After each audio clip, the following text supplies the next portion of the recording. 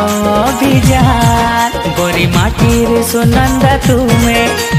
रचिल इतिहास जेबे हेलो प्रथम महिला भावे ए निर्वाचित